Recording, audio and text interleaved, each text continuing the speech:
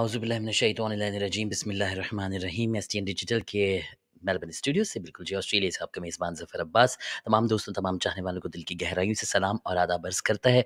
जी हाँ साथियों जहाँ जहाँ तक इस दुनिया में, जहाँ जहाँ तक ये प्रोग्राम देखा जा रहा है एस डिजिटल के के प्लेटफॉर्म से, उन तमाम दोस्तों को, तमाम चाहने वालों को और तमाम शायकीन को, खासकर क्रिकेट के शायकीन को, स्पोर्ट्स प्लेयर के जितने भी हमारे देखने वाले हैं और शायकीन हैं और मोहब्बत करने वाले लोग हैं, उन सबको खुश आमदेद कहते हैं दीदा दिलफर शिराग कि वे खुश आमदेद कहने के साथ साथ आप लोगों को बताते चलें कि जैसे कि हम आपके साथ मौजूद ज़फ़र अब्बास, मेलबर्न स्टूडियो से। बिल्कुल बिल्कुल जी इसी तरीके से हमारे साथ मौजूद तारिक हारून और नुमानुल्लाह कराची स्टूडियो से मौजूद है। अस्सलाम वालेकुम। नाजरीन आपको मालूम है कि जैसे कि कल मैच खेला गया जिस तरीके से जो कोयटा ग्लैडिएटर्स और इस्लामाबाद यूनाइटेड की माबैन जो मैच खेला गया है जिसमें तारिक और नुमानुल्लाह की जो टीम थी वो इस्लामाबाद थी और कोयटा की टीम को चले मैंने सपोर्ट किया था। तो ज़ाहिर है कि वो जिस तरीके जिस तरीके से उनका मैच खेला गया उसमें आपको मालूम है कि जो इस्लामाबाद था उन्होंने जब टॉस विन किया था और उसके बाद विन करने के बाद टॉस विन के कल की जो मैच इस्लामाबाद को दो सौ दो सौ उनतीस रन बनाए थे चार विकटों के नुकसान पर जिसको चेस करने के लिए जो टारगेट था 230 था लेकिन 186 के ऊपर वो मैच ख़त्म हुआ और इस तरह इस तरीके से इस्लामाबाद यूनाइटेड इस इस मैच को 43 रन से जीत सकी।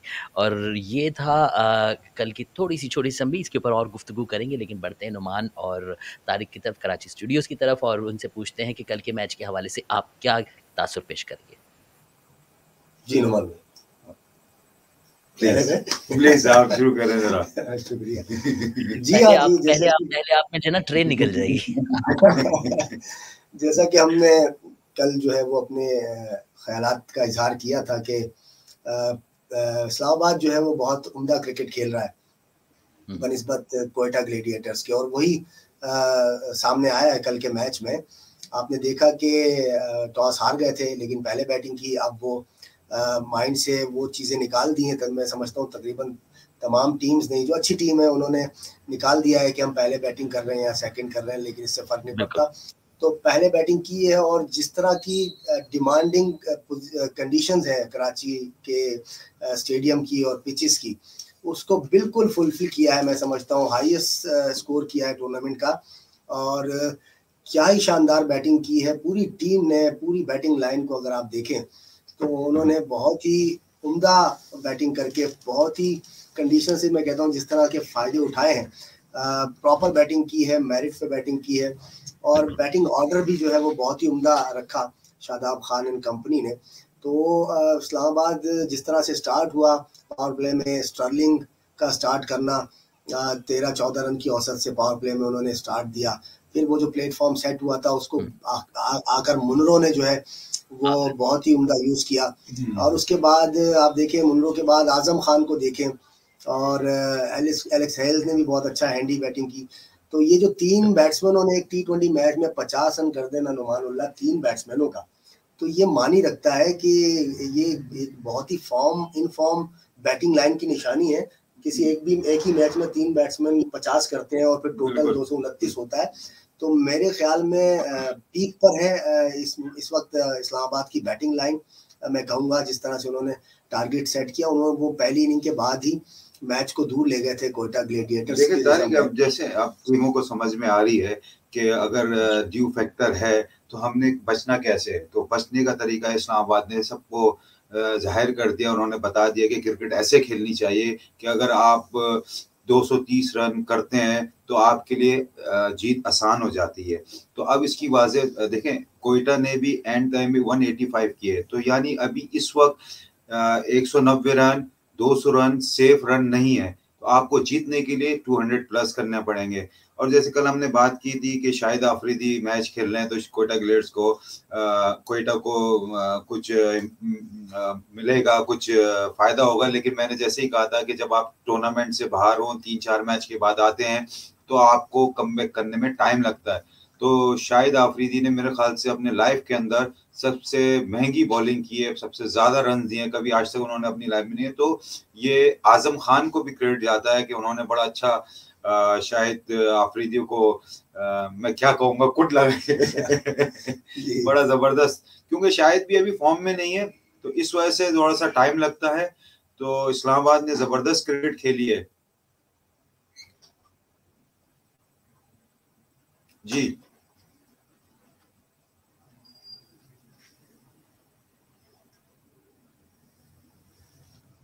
आवाज़ आपकी नहीं आ रही।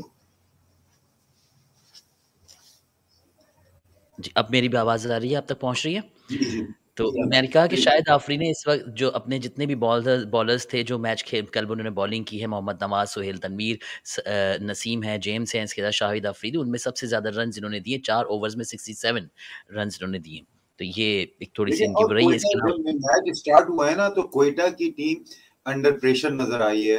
उनका पता चल रहा था कि पहली बॉल की सोहेल तनवीर जैसे आए गेन करने के लिए। पहली बॉल की नो बॉल की भी फ्रेट पे फिर चौका तो मगर आप एक बॉल भी नहीं की और नौ रन दे रहे हैं तो बड़ा प्रेशर में नज़र आई। प्लस फिर सरफराज की कप्तानी बहुत ही सवाल उठ रहे हैं उनकी कप्तानी में बहुत डिसीज़न उनके गलत हैं। और मुझे जो लगता है कोयटा की टीम के अंदर ना जब आप दोस्तियाँ यारियाँ निभाने शुरू करते हैं। जब आप टीम बनाते हैं और उसके अंदर दोस्तियाँ यारियाँ निभाने लगते हैं और जिन प्लेयरों को बिल्कुल बिल्कुल। जब आपका प्रोफेशनलिज्म कम होता है और आप जैसे जिसका जो मैं कहता हूँ कि अभी बहुत से पाकिस्तान के क्रिकेटर हैं जिन्होंने डोमेस्टिक क्रिकेट में परफॉर्म किया है लेकिन पीएसएल में जगह नहीं बन रही। लेकिन ये आप लोगों ने जो हमारे फ्रेंचाइज ओनर्स हैं उन लोगों को भी ये चाहिए कि भाई जो परफॉर्मर प्लेयर हो उसको तो लें। कम से कम ये तो नहीं करें कि ये मेरे दोस्त का बेटा है तो मैं उसको क्रिकेट खिला दूँगा। तो मैं कोयटा पे ये देख रहा हूँ कि बिल्कुल फ्रेंडशिप निभाई जा रही है जिसका नुकसान हो रहा है कोयटा को। बिल्कुल ऐसे ही है बिल्कुल ऐसे ही है। लेकिन अब बात यह है कि जैसे अगर हम मैच की तरफ़ बढ़ते हैं आप ये देखें कि कोयटा के जो हैं जो खिलाड़ी हैं उनमें से अगर आप शाहिद आफरीदी को चले ले लेते हैं कि शाहिद आफरीदी का एक उनके लिए एक, एक मशहूर भी है बूम बूम और विकेट पे आते हैं चक्के चौके पड़ते हैं लेकिन कल की उनकी परफॉर्मेंस है कि उन्होंने सिर्फ़ आठ बॉल्स खेली हैं और जिसके ऊपर उन्होंने सिर्फ़ चार रन बनाए। यहाँ बैटिंग लाइन में भी अगर देखा जाए तो उनकी परफॉर्मेंस को इतनी खास नहीं नज़र आई हम लोगों को। और उसके साथ साथ अगर आप बॉलिंग में जाए तो बॉलिंग में जैसे कि अभी आपके सामने नुमानुल्ला ने बताया कि उन्होंने बॉलिंग में भी कोई खास इतनी अच्छी परफॉर्मेंस नहीं दी। हाँ ठीक है, ये कह सकते हैं कि वो पिछले आने वाले मैचेस जो थे उसमें नहीं खेल सके थे और ज़्यादा इतना वार्म अप नहीं थे, इतनी प्रैक्टिस में नहीं थे तो मे भी पॉसिबल उसकी वजह से भी वो भी बचा बन सकती है। लेकिन ज़ाहिर जो शायकीन होते हैं, जो देखने वाले होते हैं, उनको अपने जो चाहने वाले होते हैं, अपने प्लेयर्स जो होते हैं, जिनके भी फ़ैन होते हैं तो उनसे कुछ ना कुछ उम्मीदें वापसता होती हैं। जी, बढ़ते हैं तारिक आपकी तरफ़ और जैसे कि आज आपको नाजरीन बताते चलें कि जो आज मैच खेला जा रहा है, बिल्कुल जी इसमें पेशावर जलमी और कराची के, कराची किंग्स के माबेन खेला जा रहा है, जिसमें आपको बताएँ कि किंग्स जो है वो कराची किंग्स ने टॉस जीता है और उन्हें फील्डिंग को चूज़ किया है और बैटिंग के लिए पेशावर जलमी को ऑफ़र की है। तो तारिक, आप क्या कहेंगे इस हवाले से, आज के मैच के हवाले से आपका क्या कहना है? क्योंकि आज एक दफ़ा फिर कराची किंग्स है और उसके सामने जो है पेशावर जलमी है। देखिए very good toss to win ज़रूरत भी थी साइकोलॉजिकली गेम में आने की कराची किंग्स को बहुत ज़्यादा ज़रूरत थी। चले साइकोलॉजिकली सही, लेकिन उन्हें, उन्होंने टॉस जीता है। अब वो चेस पर जाएँगे। आप देख रहे हैं कि मैचेस हम देख रहे हैं, अगर टीम्स फ्लॉप भी होती है बैटिंग लाइन तो किसी कदर अगर एक आध बैट्समैन रन भी कर देता है तो टीम 180 190 रन फिर भी कर जाती है सेकंड बैटिंग में। 230 का टारगेट था लेकिन आप देखें कि मोहम्मद नवाज़ ने नीचे से आकर थोड़ा सा फाइट बैक किया और स्कोर जो है वो दो ओवर्स पहले ही आई थिंक ये उन्नीसवें ओवर अठारहवें ओवर में उन्नीसवें ओवर में एक सौ छियासी पे पहुँच गए थे फिर वो ऑल आउट हो गया बदकिस्मती से। वो दो सौ भी क्रॉस कर सकते थे। तो इस चीज़ को ज़रूर मद्देनज़र रखा हुआ कराची किंग्स ने जब जब उन्होंने फील्डिंग ली है। लेकिन फिर भी मैं कहूँगा कि उनकी बैटिंग को रिस्पॉन्ड करना पड़ेगा। फॉर्म में नहीं है सिवाय शर्जील के। कोई भी बैट्समैन फॉर्म में नहीं है हत्या के बाबर आज़म भी अपने जो मैं कहूँगा कि अपने मैार पर नहीं खेल पाए अब तक जिस तरह के वो बैट्समैन है, जिस तरह के वो वर्ल्ड क्लास बैट्समैन है, उस तरह की बैटिंग अभी तक बाबर आज़म की तरफ़ से हम नहीं देख पाए हैं। और मजीद जो आने वाले बैट्समैन हैं उनके, हमने खातिर खा कोई बैटिंग ऐसी देखी नहीं है अब तक। और उम्मीद करते हैं कि आज के मैच में कराची किंग्स जो है, वो अपनी गुज्त जो गलतियाँ हैं उस पर काबू पाकर और कम से कम गलतियाँ करे और इस मैच को जीतने की कोशिश करें ताकि वो पॉइंट्स टेबल पर किसी तरह अपनी पोजीशन को मुस्तकम कर सके। अभी भी चार्ट जो है वो तकरीबन ओपन ही है तमाम टीम्स के लिए, सिवाय दो टीम्स ऊपर हैं मुल्तान और इस्लामाबाद। उसके बाद लाहौर बेहतर पोजीशन में ज़रूर है, लेकिन चौथी प्लेस अभी भी जिसके लिए फाइट हो सकती है सेमीफाइनलिस्ट उसकी जगह खाली है। तो उम्मीद करता हूँ कि कराची किंग्स जो है वो इससे फ़ायदा उठाएगी, जो टॉस जीती है फ़ायदा उठाएगी। अच्छा नाजिन आपको बताते चले कि कराची किंग्स जो कि बॉलिंग कर रही है इस वक्त, उनमें से बॉलर जो है इस वक्त इमाद वसीम है, जिन्होंने पूरा एक ओवर कर लिया है, लेकिन, और ओवर करने के बाद चार रन बने हैं, जिसमें भी, जिसमें ये कि एक चौका हुआ है, और चौका है हजरतुल्ला जजई ने, वो चौका मारा है, उनके माबैन जो दूसरे खिलाड़ी हैं, वो कामरान अकमल खेल रहे हैं। और नुमान, आपकी तरफ़ बढ़ते हैं, बल्कि ये सवाल बड़ा अहम है, जो आज मीडिया पे खासकर सोशल मीडिया के ऊपर पर बड़ा आ, आ, मुझे नज़र आया और वो बड़ा मतलब बहुत अहम सवाल है। किसी पे आप इस तरह उंगली नहीं उठा सकते लेकिन ज़ाहिर है कि सवाल ऐसा है कि सोचना पड़ेगा इस चीज़ को देखना भी पड़ेगा। और सवाल कुछ यूँ है कि जो हमारे प्लेयर हैं मोहम्मद हसनैन उनके जो बॉलर जो हैं उनकी उन, उनकी बॉलिंग के हवाले से बड़े तनकीदी जो जुमले हैं वो आ रहे हैं। तो उसके बारे में क्या कहेंगे? पहले नुमान आपसे हम गुफ्तु करते हैं। देखें, ये जो तस्वीर सामने आई है, ये जो मेरी नॉलेज है और जो मुझे जितना पता है, वो ये है कि ये बायोमैकेनिक्स होता है और ये बगैर क्लोथ के होता है। और जैसे पहले भी हफीज का भी हो चुका है और मैगरा का हुआ है तो मेरे ख्याल से ये कुछ चीज़ें थोड़ा सा तारीख इनको मेरे ख्याल से बगैर क्लोथ की होती हैं, ये इस तरह तो सामने से नहीं होता बिल्कुल बिल्कुल नोमानुल्ला आपने बिल्कुल बचा फरमाया है क्योंकि ये मैच कंडीशंस में कभी भी आप बायोमैकेनिक टेस्ट नहीं ले सकते। हम्म। हाँ सस्पेक्ट ज़रूर होता है बॉलर अगर हम बायर्स देखते हैं उसे सस्पेक्ट करते हैं तो फिर वो जाएगा लैब में और रिसर्च में जाएगा वहाँ पर उसके एक्शन को प्रॉपरली जो है वो देखा जाएगा कि वो चेकिंग में आ रहा है कि नहीं आ रहा है। जहाँ तक हमारी नॉलेज है हमें हमने जितना पढ़ा है अपने कोचिंग कोर्सेज में या जितना हमने इस बायोमैकेनिक्स को समझा है एज अ बॉलिंग कोच मैं भी बॉलिंग कोच रहा हूँ। और इसके जो लेवल्स होते हैं वो तीन लेवल्स होते हैं और तकरीबन चार लेवल्स आप कह लें तो वो एक रिलीज़ आ जाती है उसमें। तो इसमें पहला लेवल होता है शोल्डर लेवल हम्म। जब बॉलर्स बॉलर्स अपना आर्म रोटेट करते हैं शोल्डर लेवल पर जब आता है तो ये शोल्डर लेवल पर आर्म आ गया। ये मैं अपना दूसरा आर्म दिखाता हूँ क्योंकि वो आर्म मेरा स्क्रीन से आउट हो रहा है। ये शोल्डर लेवल पे आ गया। इसके बाद आता है दूसरा मरहला सेकंड लेवल आता है पास शोल्डर लेवल फिर ये दूसरा लेवल हो गया फिर तीसरा लेवल लेवल जो आता है वो आता है प्रायर टू रिलीज़ फिर उसके बाद चौथा लेवल आता है रिलीज़ तो ये हम समझने के लिए अपने नाजरीन के लिए और अपने यंगस्टर्स के लिए ये मैं बताना चाह रहा हूँ कि ये चार लेवल हैं। तो ज़फ़र इन चार लेवल्स में जो अलाउड है लीगली जो जो आईसीसी ने जो अलाउड किया हुआ है बॉलर्स को डिग्रीज के मद में वो 15 या अंडर 15 डिग्रीज इन चार लेवल्स में अगर वो उसका हाथ की आम की एक्सटेंशन जो है वो अगर चेंज होती है वो विद इन फिफ्टीन डिग्रीज होनी चाहिए इससे अबव नहीं होनी चाहिए। सही। तो ये ये मैं आपको बताना चाह रहा हूँ दोबारा समझाने के लिए यानी एक लेवल से शोल्डर लेवल से पास शोल्डर लेवल इस, इस, इस एक ही को समझ लें इसी की इसी में अगर मेरे आर्म की जो डिग्री है वो विद इन फिफ्टीन डिग्रीज अगर उसमें चेंजिंग आ रही है तो वो लीगल है। और अगर इसमें या किसी और लेवल पे दूसरे लेवल पे तीसरे लेवल पे या चौथे रिलीज़ के लेवल पे इन चारों में से किसी लेवल पे भी डिग्रीज अबव फिफ्टीन चली जाती हैं मेरे आर्म की तो वो इलीगल हो जाएगा। वो चेकिंग में आ जाएगा वो फिर सस्पेक्ट करते हैं एम्पायर्स या मैच रेफरीज फिर वो उसे भेजते हैं लैब में और वो वो कॉल होता है जहाँ पर उसका प्रॉपर टेस्ट होगा जैसा फिर नोमान उल्ला ने फरमाया कि उसका जो टेस्ट होगा वो ज़ाहिर है जॉइंट्स के जो जो जो जो पॉइंट होते हैं वो पॉइंट्स जो। है वो क्लॉथिंग में तो नज़र आ नहीं सकते।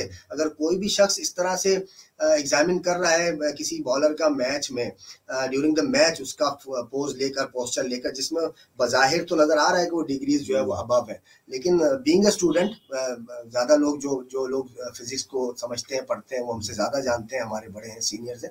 लेकिन बींग अ स्टूडेंट हम ये जानते हैं कि ये जब लैब में टेस्ट होगा तो वो फिर प्रॉपरली उन जगहों पर उन पॉइंट्स पर इसके जो है वो लगाए जाएँगे पॉइंट्स और उसमें वो विदाउट क्लॉथिंग सिर्फ़ शॉर्ट पहना हुआ होगा हम्म। वो बॉलर फिर उसमें वो अपनी आ, अपने एक्शन को प्रोग्रेशन करेगा उसमें फिर उसका टेस्ट होगा फिर उसकी रिसर्च होगी फिर उसके बाद उसका रिज़ल्ट आएगा हम्म। तो यहाँ यहाँ जो मैं ये कहना चाहूँगा कि लाइव मैच में आप किसी का एग्जामिन करते हैं तो ये मैं नहीं समझता कि आप कर सकते हैं बिल्कुल। अच्छा नुमान इसी बात से मुंसलिक एक और सवाल वो ये है कि जो हमारे प्लेयर्स अब हम सिर्फ़ इनको नहीं कहते बल्कि ऐसे ही कोई भी नॉर्मल प्लेयर्स जो पिछली हिस्ट्री में भी बहुत सारे ऐसे बॉलर्स आए हैं और अब वो ज़ाहिर है उनको भी इस तरह के बड़े तनकीदी सामने करने पड़े हैं। उसके बाद उनकी हिस्ट्री क्या रहती है? क्योंकि उन्होंने तो इतना इतने मैचेज़ ऑलरेडी खेल लिए होते हैं, इतनी लीग्स उन्होंने खेल ली होती हैं और उसके साथ-साथ आगे भी उन्होंने अपनी लाइफ़ एक उनका कैरियर होता है बहुत बड़ा। तो उनकी जो पिछली लीग्स चली गई, उनको किस नज़र से देखा जा रहा होता है आगे खेलने के चांसेस क्या बनते हैं?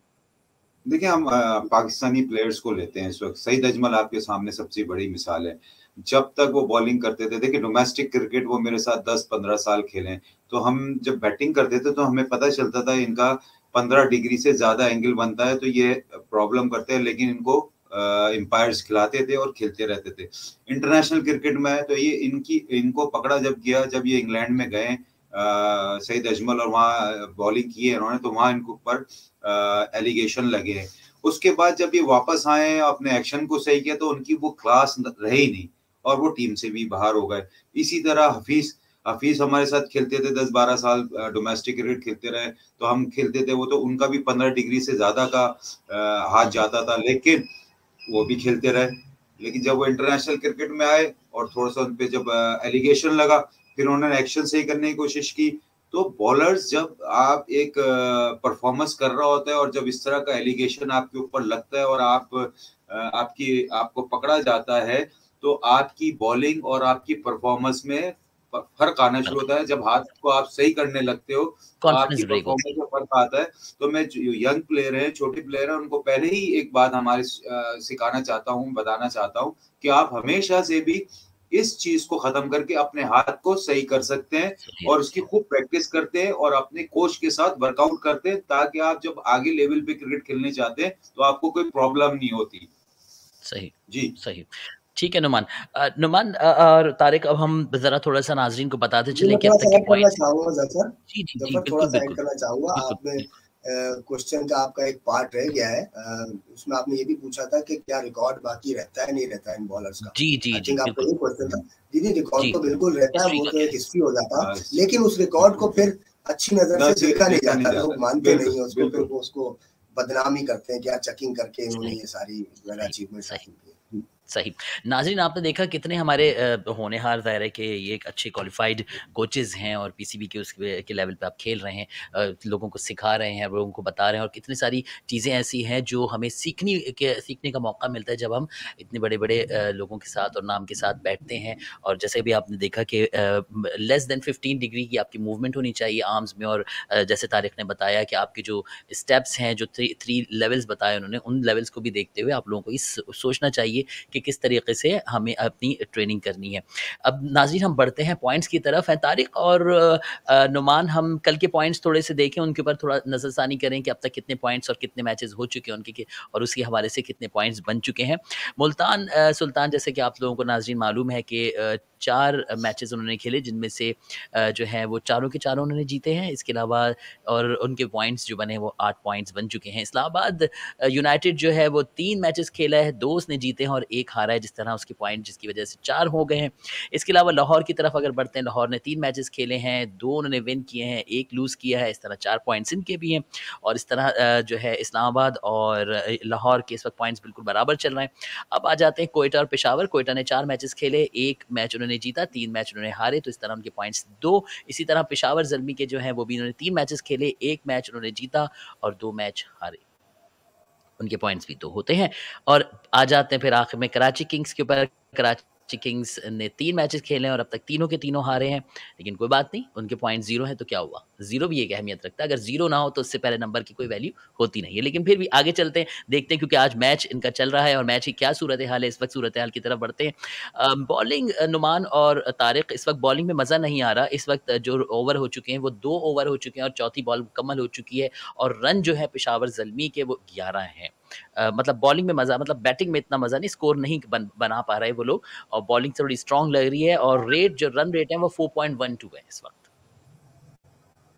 देखिए पिशावर जिलमी भी ये जो मैच हारी है ना लास्ट मैच हारी है तो इससे थोड़ा सा ये भी प्रॉब्लम्स में आए हुए क्योंकि अभी पॉइंट टेबल जैसे आपने दिखाया कि सिर्फ़ तीन टीमें ऊपर टॉप की हैं और ये तीन टीमें नीचे की बराबर की चल रही हैं इस वक्त। तो कराची किंग को ये आज जो मैं तो ये समझता हूँ कि कराची किंग आज अच्छा परफॉर्म करेगी क्योंकि उन्होंने अपनी गलतियों से बहुत कुछ सीखा है और। पिशावर जलमी की भी बैटिंग थोड़ी इतनी परफॉर्म नहीं कर रही है जैसा कि उन्हें पास में परफॉर्म करते थे। तो ये एक अच्छा मैच देखने को मिलेगा और कराची किंग अच्छा परफॉर्म करेगी आज।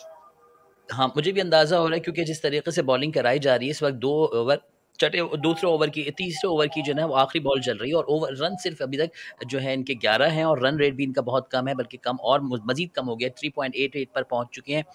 देखिए मैच है क्रिकेट है और किस वक्त क्या जो है वो लेवल चेंज होता है हमें कुछ पता नहीं। ज़फ़र बात किया ज़फ़र देखिए हमने बात की थी कल इस्लामाबाद ने बैटिंग की अगेंस्ट इस्लामाबाद ने बैटिंग की अगेंस्ट कोयटा ठीक है?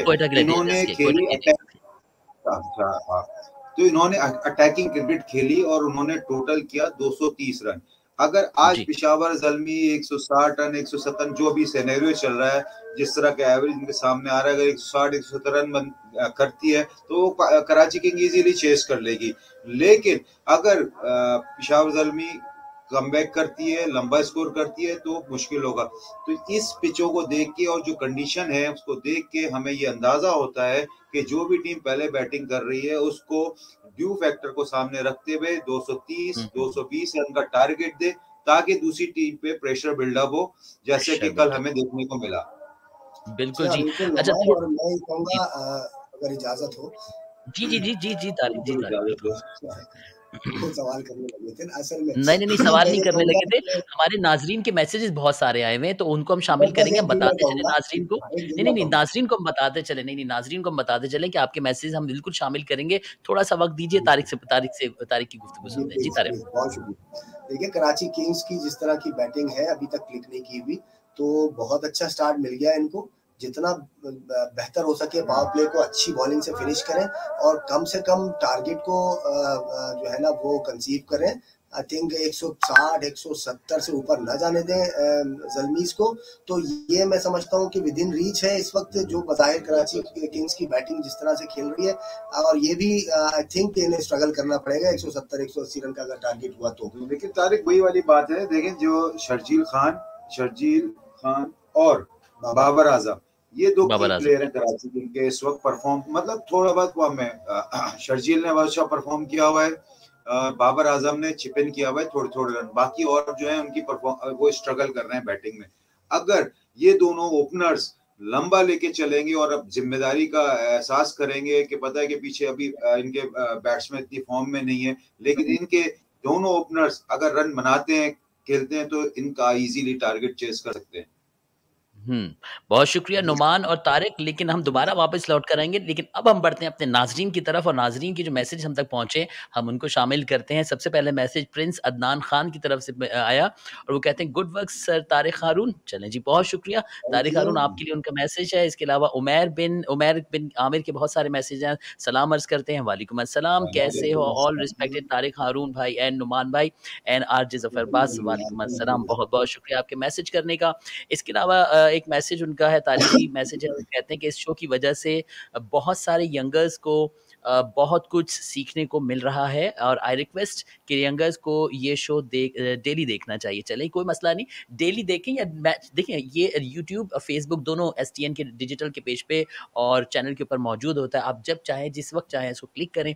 आप एस डिजिटल को सब्सक्राइब भी करें और उसके साथ साथ मैचेज या कोई प्रोग्राम पसंद आता है, उसको लाइक भी करें ताकि इसकी हमारी सब्सक्रिप्शन बढ़ेगी। तो यकीन आप लोगों के लिए हम और अच्छे से अच्छे प्रोग्राम्स जना क्रिकेट के हवाले से या दूसरे गेम्स के हवाले से ज़रूर लेकर आएँगे। अभी ये लीग खत्म होगी, इसके अलावा ऑस्ट्रेलिया भी पहुँचने वाला है, पाकिस्तान देखें उसकी, उस, वो सीरीज़ एक चलेगी, उसके ऊपर भी हमारी यकीन बहुत सारी डिस्कशन आप लोगों के साथ रहेगी।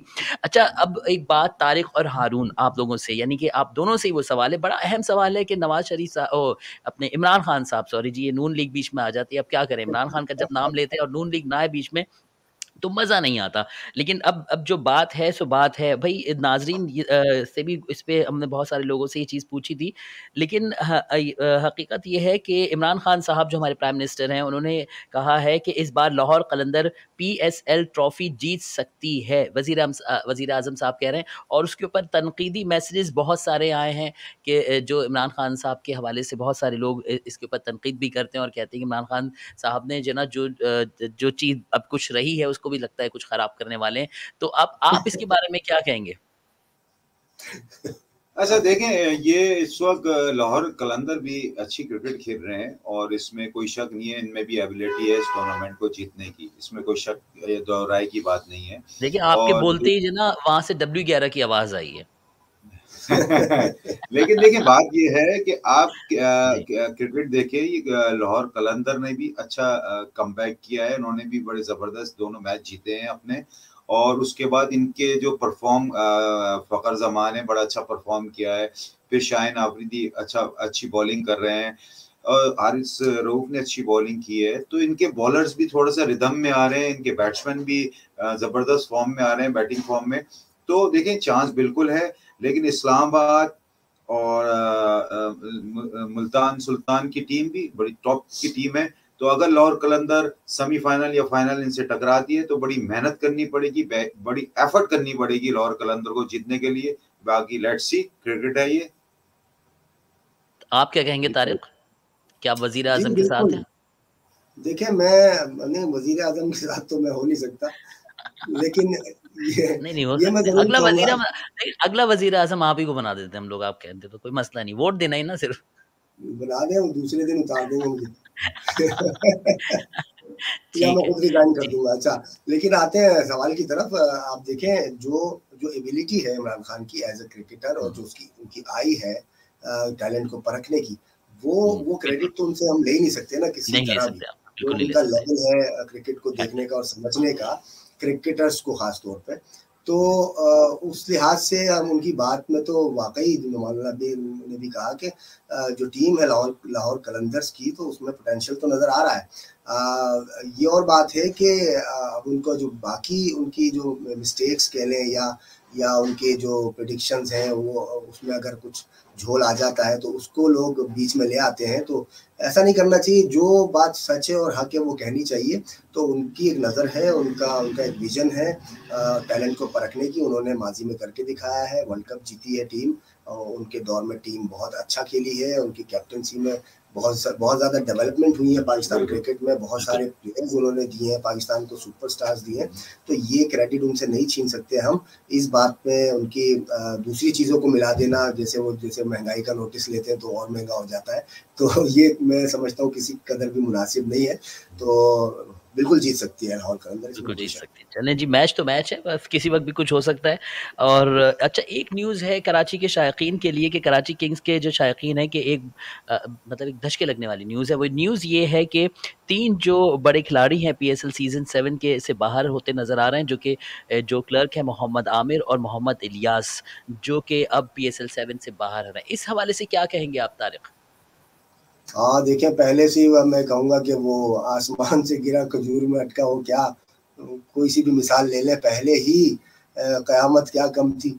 तो टीम परफॉर्मेंस इतनी अच्छी नहीं थी, फिर उस पर इनके दो तीन प्लेयर्स का आउट हो जाना लेकिन एक मैं यहाँ पर पॉजिटिव माइंड से एक बात कहूँगा कि ये इनकी जगह ज़रूर अपने जो है ना, स्क्वाड में प्लेयर्स लेंगे तो इन्हें चाहिए कि इनके पास अगर किसी किस्म की ये समझते हैं कि कमी है जो कि वो अब फुलफिल कर सकते हैं आगे मैचेस में इनको।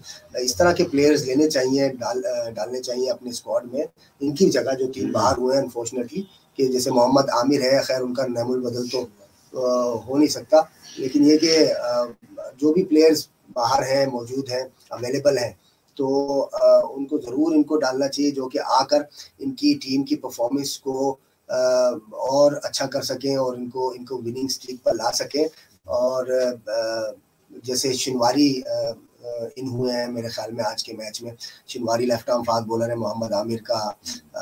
मैं कहूँगा किसी कदर नेमुल बदल ज़रूर है। बहुत अच्छे फास्ट बॉलर एक्सपीरियंस है इनको पीएसएल का उन्होंने तो क्या कहेंगे नोमान मेरे ख्याल में तो एक मौका भी है उनके पास कि वो अच्छा देखिए ये कभी कभार किसी टीम के लिए गुड लक भी होता है कोई प्लेयर आ जाता है कोई प्लेयर अनफिट चला जाता है वापस और कोई नए प्लेयर आते हैं तो किसी टीम की गुड लक होती है।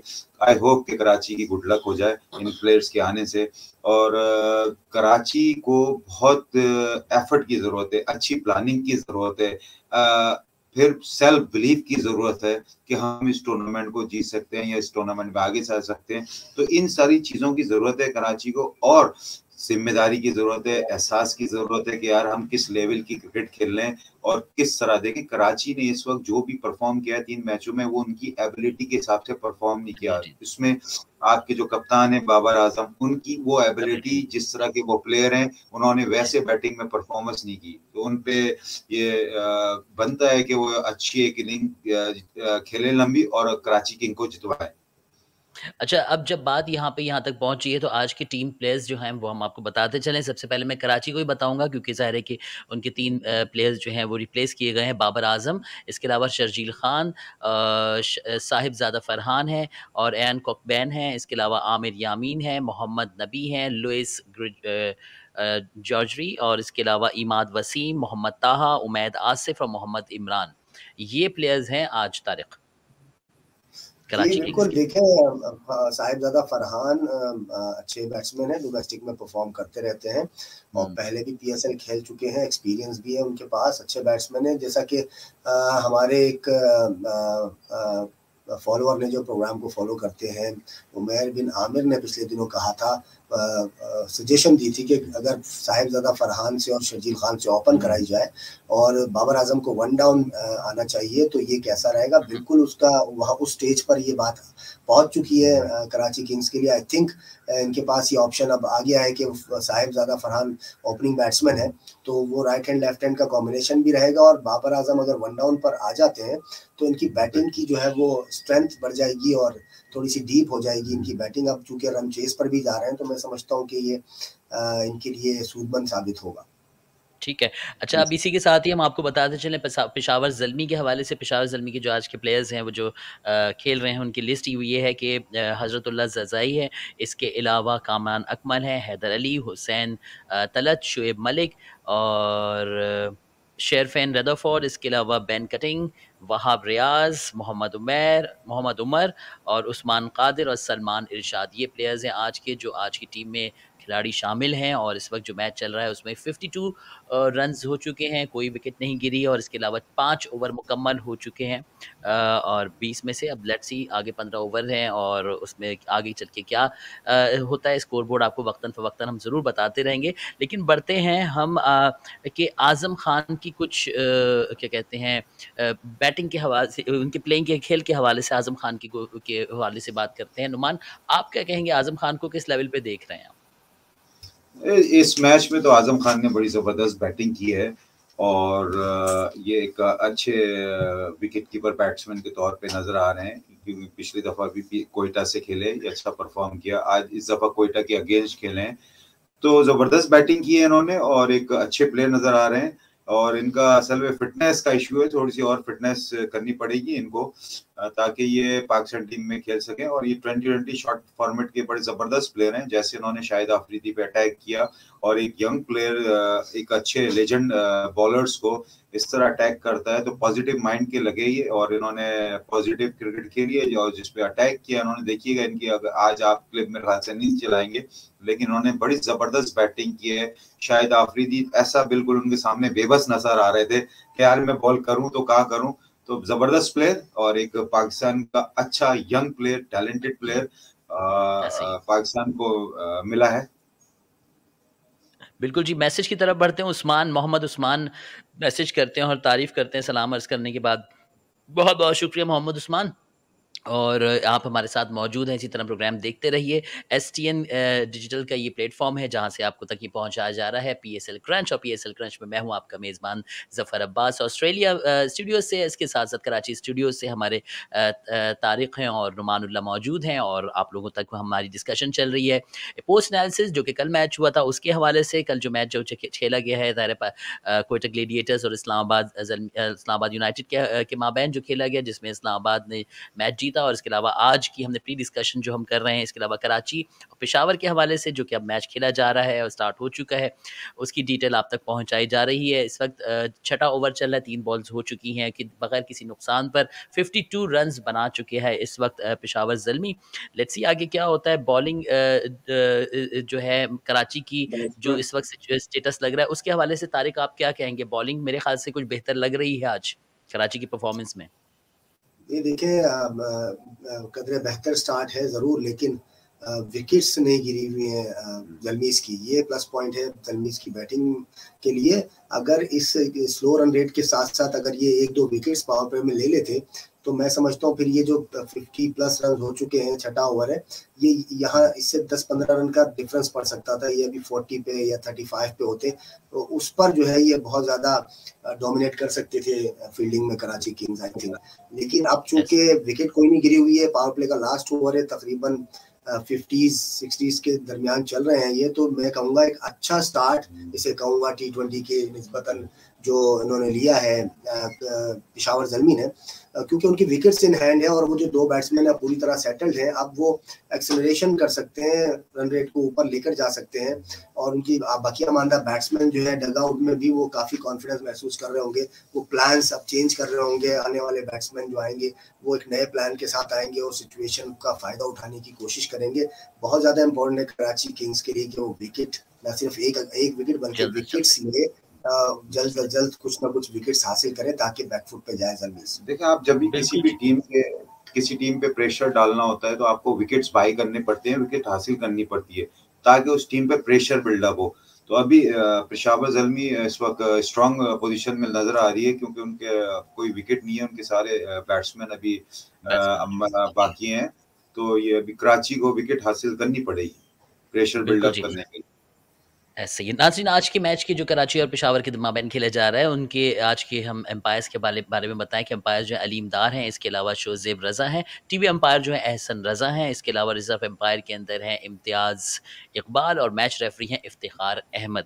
ये इन्फॉर्मेशन आप तक इसलिए पहुँचा जाती है ताकि आप लोगों को जब इन्फॉर्मेशन दे रहे हैं तो पूरी हंड्रेड परसेंट नहीं तो at least ninety nine point nine nine percent तो हम आप तक पहुँचाएँ इन्फॉर्मेशन कि आज की मैच की इन्फॉर्मेशन है। प्रोग्राम के आखिर में बिल्कुल टिप्स की तरफ़ बढ़ते हैं। ये सेशन है टिप्स का और टिप्स के लिए आज हम पूछते हैं मतलब इन लोगों से आज क्या टिप्स देने वाले हैं हमारे नाजरीन को? पहले नुमानुल्ला आप।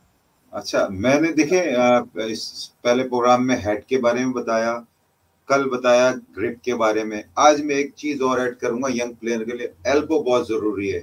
ये हमारा एल्बो जो है, पूरी बैटिंग का सुतून एक तरह से आप कहें कि वो हर एक की आपकी डायरेक्शन को पकड़ता है, बॉल की डायरेक्शन कहाँ है। तो ये एल्बो, ये हमेशा बॉलर की तरफ़ रहनी चाहिए हर बच्चे की। ताकि जब आप बॉलर की तरफ़ रखेंगे ये एल्बो तो और इम्पोर्टेंट चीज़ ये कि जहाँ बॉल जा रही हो ये एल्बो आपकी बॉल की तरफ़ जाएगी तो आपको बैटिंग करने में और आसानी पैदा हो जाएगी।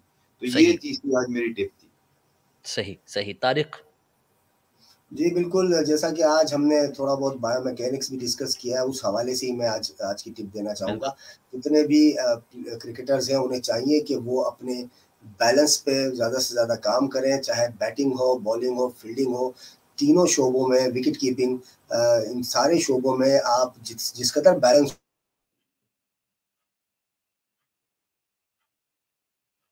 मेरे ख्याल से थोड़ा सा नेट का इशू हुआ है कराची स्टूडियोज़ में, लेकिन फिर भी कोई मसला नहीं। हम मैचेस, मैच की आज को जो लाइव अपडेट है, उसके हवाले से आपको बताते चलने कि जिस वक्त पाकि पेशावर जलमी और कराची किंग्स के माबहन मैच खेला जा रहा है, उसमें छः ओवर मुकम्मल हो चुके हैं, बीस ओवर्स में से और इसमें से एक विकेट गिर चुकी है। बिल्कुल जी, एक विकेट गिर चुकी है और देखें एक पहला अब इन्होंने छठे ओवर में ही इन्होंने एक विकेट ले ली है और इस वक्त अब सिचुएशन थोड़ी-सी कराची की मज़बूत नज़र आ रही है। उसकी वजह यह है कि उनको विकेट जैसे कि अभी अब तारिक ने भी कहा था, नुमान ने भी ये बात कही थी कि विकेट बहुत ज़रूरी है इस वक्त और विकेट लेना विकेट नहीं बल्कि विकेट्स लेना बहुत ज़रूरी है जिसकी वजह से अब ज़ाहिर है कि देखिए सिचुएशन ये आ गई कि विकेट आखिरकार इन्होंने हासिल कर ली है।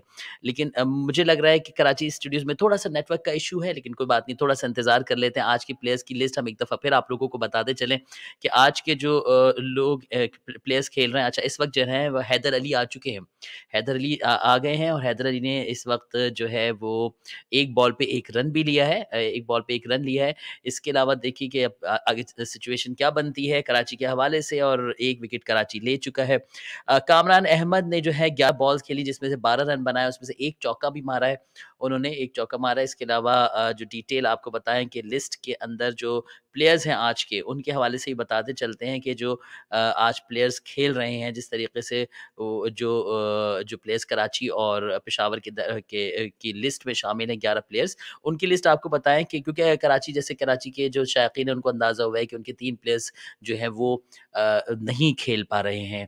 इस वक्त तो बाबर आज़म हैं शर्जील खान हैं साहबजादा फरहान हैं और यान कुपैन हैं। इसके अलावा आमिर यामीन है, मोहम्मद नबी है लुइस जॉर्जरी, इसके अलावा इमाद वसीम, मोहम्मद तहा, उमैद आसिफ, मोहम्मद इमरान।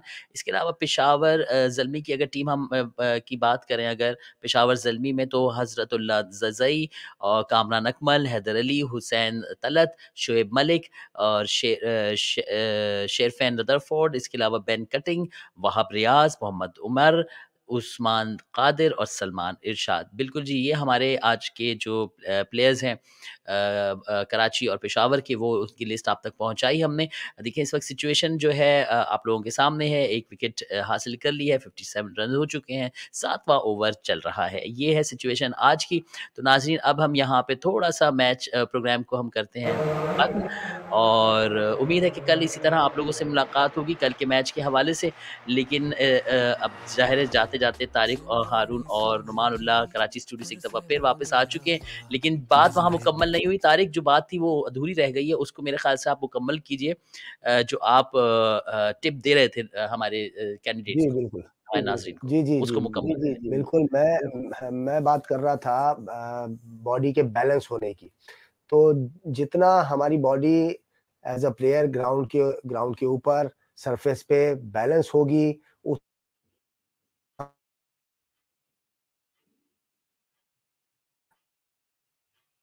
होगी थोड़ा सा इशू जी हाँ।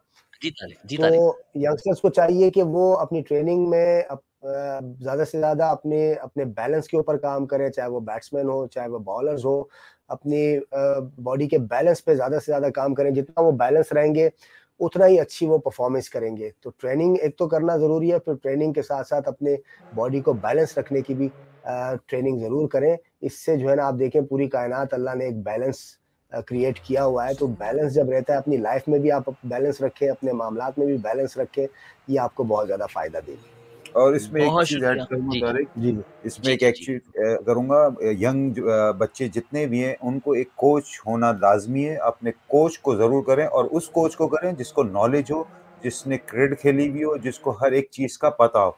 उसके पास जाएँ और उसके साथ काम करें। ये बड़ी इंपॉर्टेंट चीज़ है। इस वक्त हर बंदा तो कोच बना हुआ है जैसे उसको पता होता नहीं है तो टाइम ज़ाया नहीं करें बच्चों को सिखाएँ और बच्चे आपके पास से इम्प्रूवमेंट करते हुए नज़र आए।